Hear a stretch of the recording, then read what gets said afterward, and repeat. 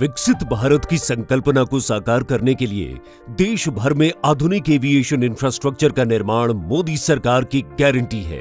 माननीय प्रधानमंत्री श्री नरेंद्र मोदी जी के दूरदर्शी नेतृत्व में पिछले दस वर्षों में देश में संचालित हवाई अड्डों एवं हवाई यात्रियों की संख्या दोगुनी से अधिक हो गई है।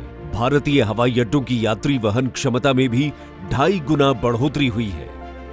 तेज़ी से बढ़ता एविएशन सेक्टर भारत की ओवरऑल ग्रोथ और एम्प्लॉयमेंट जनरेशन को भी गति दे रही है। देश में आज नए हवाई अड्डों का निर्माण और मौजूदा हवाई अड्डों का विस्तार किया जा रहा है। माननीय प्रधानमंत्री जी द्वारा आज लगभग 9,800 करोड़ रुपए से अधिक की लागत की 12 परियोजनाओं का लोकार्पण एवं तीन परियोजनाओं का शिलान्यास किया जा रहा है। लगभग 150 करोड़ रुपए की लागत से विकसित उत्तर प्रदेश के पाँच हवाई अड्डे अलीगढ़ आजमगढ़ चित्रकूट मुरादाबाद तथा श्रावस्ती यात्री सेवा के लिए तैयार है। ये प्रत्येक हवाई अड्डा प्रतिवर्ष लगभग एक लाख यात्रियों को सेवा प्रदान करने में सक्षम है। साथ ही लखनऊ हवाई अड्डे में 2,400 करोड़ रुपए की लागत से नए एकीकृत टर्मिनल भवन का विकास किया गया है। जो प्रतिवर्ष 80 लाख यात्रियों को सेवा प्रदान करने में सक्षम है।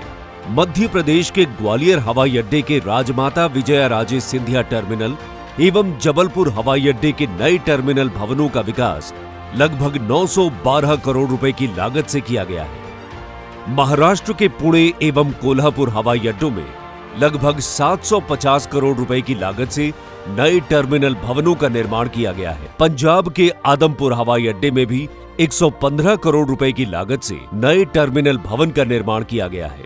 इसके साथ ही 4,600 करोड़ रुपए की लागत से दिल्ली के आईजीआई एयरपोर्ट के वर्तमान टी वन टर्मिनल का उन्नयन किया गया है।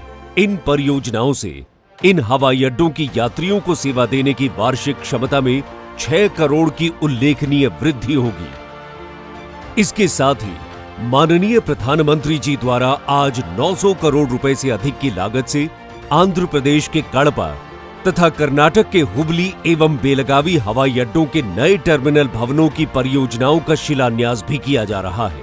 इन हवाई अड्डों से प्रतिवर्ष पचानवे लाख यात्रियों को सेवा प्रदान करने की क्षमता में बढ़ोतरी होगी। इन परियोजनाओं से हवाई संपर्कता बेहतर होगी। पर्यटकों को उन्नत यात्री सुविधाओं का लाभ मिलेगा, तथा क्षेत्र के उद्योग एवं अर्थव्यवस्था को नई गति मिलेगी, जो माननीय प्रधानमंत्री के विकसित भारत के संकल्प को साकार करने की दिशा में महत्वपूर्ण कदम होगा।